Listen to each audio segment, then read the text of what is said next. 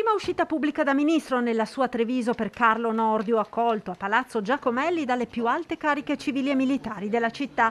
Ai giornalisti che lo attendono ribadisce quelle che sono le sue priorità per la giustizia. Sono quelle dell'efficienza della giustizia, l'accelerazione dei processi, il mantenimento e il potenziamento delle garanzie individuali, la certezza della pena intesa come...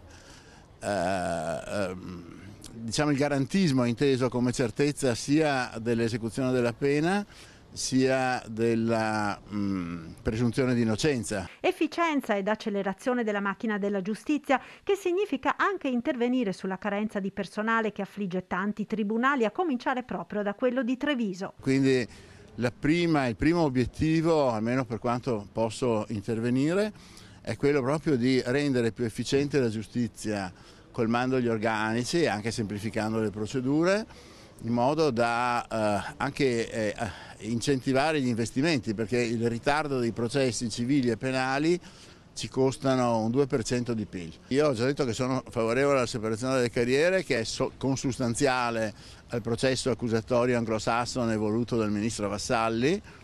Naturalmente eh, gran parte è già stato attuato dalla riforma Cartabia che di fatto sono, le funzioni oggi sono molto separate, però eh, la separazione eh, netta può essere attuata secondo me come quella del Consiglio Superiore della Magistratura solo attraverso una revisione costituzionale. Il ministro è intervenuto alla presentazione del libro Volti e storie di Domenico Basso che, tra le altre, racconta anche la storia del magistrato trevigiano, ora ministro. Tanti personaggi che avevano delle storie da raccontare, oltretutto anche con una certa umiltà, con una certa disponibilità e quindi ho pensato che fosse anche bello poterle raccontare e poi queste storie possono anche diventare un esempio per altre persone.